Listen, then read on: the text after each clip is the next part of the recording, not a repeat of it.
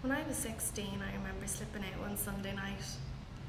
It was this time of year, the beginning of August. And Bernie and I met at the gate of the workhouse. And the pair of us off to a dance in Ardstraw. I was being pestered by a fellow called Tim Carlin at the time. But it was really Brian McGuinness that I was that I was keen on. I Remember Brian with the white hands and the longest eyelashes you ever saw. But of course he was crazy about Bernie. Anyhow, the two boys took us on the bar of their bikes and off the four of us headed to Ardstraw, 15 miles each way. If Daddy had known. May you rest in peace.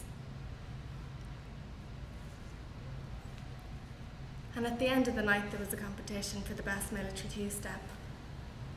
And it was down to three couples the local pair from Ardstraw, wee Timmy and myself. He was up to there, and me, and Brian and Bernie.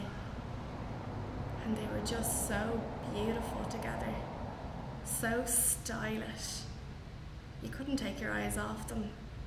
People just stopped dancing and gazed at them. And when the judges announced their winners, they were probably blind drunk. Naturally, the local couple came first. Myself and Timmy came second. And Brian and Bernie came third. Poor Bernie was stunned. She couldn't believe it, couldn't talk, wouldn't speak to any of us for the rest of the night, wouldn't even cycle home with us. She was right too.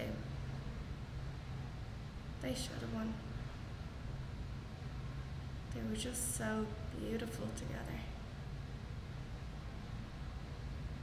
That's the last time I saw Brian McGuinness. Remember Brian with the next thing I heard he left for Australia. She was right to be angry, Bernie. They should have won.